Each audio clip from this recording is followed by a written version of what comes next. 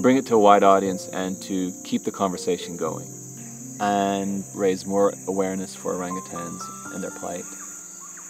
It's giving the world a reason to continue talking about orangutans as well.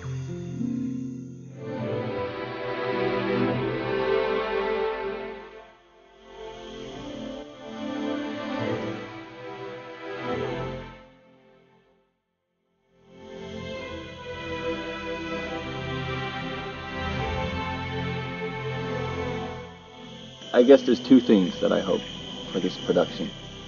And the first is that we just create something really beautiful and exciting and compelling and that people will just want to watch.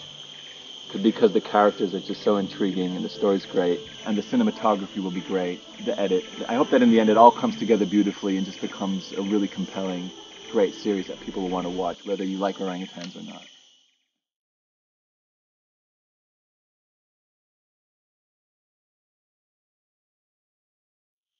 But beyond that, or the second thing, I just hope that this will create more fans for the orangutans.